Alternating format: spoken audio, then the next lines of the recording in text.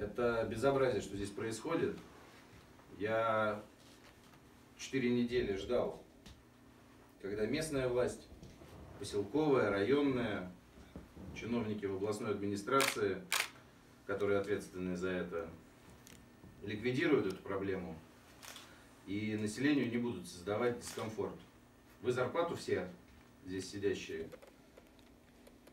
и я в том числе, получаем не за то, что люди живут в дискомфорте.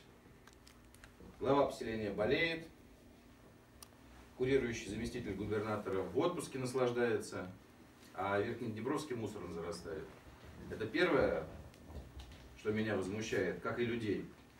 А второе, что меня возмущает, только сегодня утром я, когда уже мое терпение, как и терпение жителей лопнуло, и дал нагоняй начальнику департамента, здесь экстренно к моему приезду стали все убирать.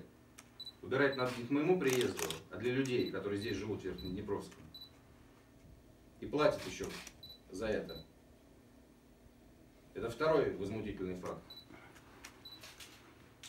Значит, давайте, э, Олег Владимирович, сначала я вас послушаю. Почему Верхний Днепровский на протяжении месяца зарастает мусором?